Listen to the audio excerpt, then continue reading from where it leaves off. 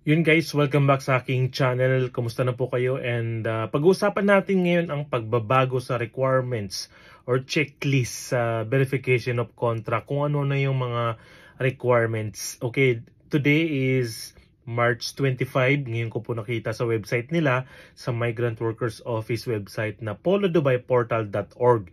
So meron silang binago sa uh, individual uh, verification of contract para sa mga ano sa mga skilled or company sponsored workers. So, yan ang ating pag-uusapan ngayon sa mga manonood ng video to. Please do watch, listen and understand. Baka yung iba naman na uh, tulad sa mga previous video ko nanood, nag-comment, yung comment nila is nasagot na actually sa video. So, napaka-importante na kung medyo hindi natin naiintindihan, So mag-ano lang tayo, mag-replay. Uh, Ayan, panoorin ng maayos. Don't forget to follow or subscribe kung saan mo man napanood tong video to. And uh, para updated kayo palagi po. And don't forget to share ha, para marami ang makapanood nito. So yun na nga, pag-uusapan natin ang checklist of requirements for individual uh, contract verification para sa mga skilled or company sponsored workers. Then kung uh, pagkatapos mong panoorin tong video to para may kopya ka, pwede mong screenshot yung picture niyan sa bandang dulo na to. Okay? So, babasahin natin ngayon guys. Okay? So, ito na ngayon guys ang nakita natin sa website ng uh, Migrant Workers Office as of March 25, um, 2024. Okay? So, unang-una sinabi dito, uh, basahin lang natin, checklist of requirements for individual contract verification, skilled or, or company-sponsored workers. Okay, mga company visa. Okay? So sabi dito, number one requirement, valid employment contract corresponding the worker's visa slash Emirates ID with minimum basic wage of 1,500 per month. Okay, two copies yan ha. So, required talaga na minimum basic wage natin is 1,500. Yung basic wage natin ha. So, may note or uh, sub ano, topic din dito sa number 1 na to. In case of discrepancy in job titles indicated in the contract and in visa or Emirates ID, a company explanation letter or certificate of employment confirming the actual work must be submitted. So, kung uh, for example, ang visa nyo is in Emirates ID, medyo iba yung nasabi sa work nyo, baka related lang din or something like that. So, hingi lang kayo ng explanation letter or certificate of employment confirming the actual work uh, na ginagawa nyo dun sa company na yun. Next, under sa 1 pa rin, in case of discrepancy in company names indicated in the contract and visa or Emirates ID, any document showing the relationship between the companies reflected in the documents will be required, such as old and new trade license with the same license number. Okay, in case may mga company na uh, ano uh, parang ano nag uh, what we call this? Nag-change name na or nagpalit ng name pero same license mga ganyan. Okay? Memorandum of incorporation or change of name explanation letter from the company etc so kung may pagbabago sa company niyo sa sponsorship whatever or kung mayroong uh, uh, mga memo sa company ng memorandum of incorporation so hingi lang po kayo ng explanation letter in short kung iba ng company pero mga same sponsor, basta hingi kayo ng explanation letter. Ayun, so, oy, ano lang, disclaimer lang guys, ha, kung uh, medyo ang accent ko may pagkamatigas, baka ibabash na naman nyo ako sa pagkabasa ko ng mga English na to. Bahala kayo dyan, mambash. And then, dito sa number one na to requirement natin, nakalagay din doon, if basic wage is below 1,500 dirhams, the worker will be required to have his or her contract amended to reflect a basic wage of at least 1,500 dirhams which is the prescribed minimum basic wage. So, ni-required daw. Yan, required na ipaayos natin ang kontrata natin na nakalagay doon dapat is 1,500 dirhams ang prescribed minimum basic wage. Yan yun sa bagong nakita natin sa online ha, sa website ng Migrant Workers Office.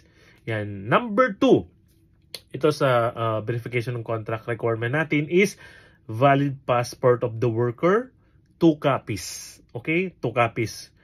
Number three, valid visa slash Emirates ID of the worker issued in Dubai and Northern Emirates. Usually, ang uh, Migrant Workers Office sa Dubai is para sa mga taga Dubai and Northern Emirates, yan mga Sharjah, Ajman, and among others. Okay? Dito nakalagay din sa number 3 na to, 2 copies. Ha? So, tatlong requirements natin, 2 copies each. Okay? And then nakalagay din dito sa number 3, note na to, if the worker's visa was issued in Abu Dhabi and Al Ain, a proof of the actual work address in Dubai, Northern Emirates will be required. So, kung iintindihin natin dito kung ang uh, ang visa natin is sa Abu Dhabi or Al Ain, pwede nilang i-verify dito. Basta meron kang proof na actual work address in Dubai Northern Emirates, maybe an explanation or uh, employment or um, uh, letter from the company na nagwo-work ka dito sa ano sa Dubai. Ayan, clear po yung sinabi nila.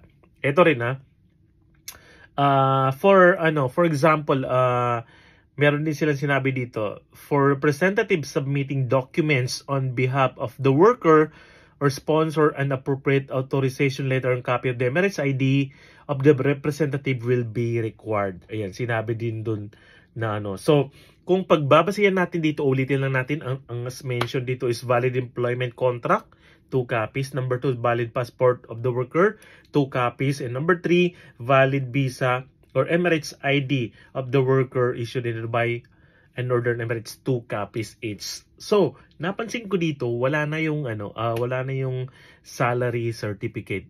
Okay, hindi na nakalagay diyan any other supporting documents na salary certificate or mga payslip ganyan. So, again, malinaw po dito sa sinabi nila sa bago nilang ano, uh, sa website nila is if basic wage is below 1,500, the worker will be required to have his or her contract amended to reflect a basic wage of at least 1,500, which is the prescribed minimum basic wage. Okay? Basic wage lang to. So, plus accommodation, plus food, plus whatever, plus, plus, plus pa po yan. So, yun yung ating nakita as of uh, March 25, 2024 sa kanilang website. Okay? I hope malinaw po yun sa inyo. So, just in case hindi po medyo malinaw sa inyo ng konti, please do replay sa video para mapanood nyo uh, ng maayos on maintindihan natin ng konti. Ayan, kung medyo nahirapan tayo ng konti. Okay? And again, this uh, list of requirements sa uh, contract verification is para sa mga skilled or company-sponsored workers. Okay? Hindi po ito mga on freelance visa. Kasi company pa rin yun. Okay?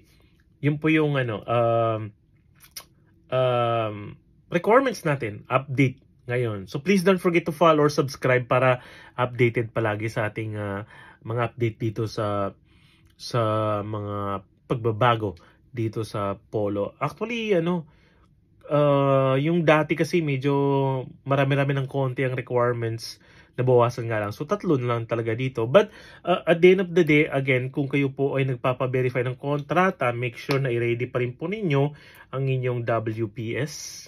Okay, maaring hanapin yan, depende case-to-case -case basis.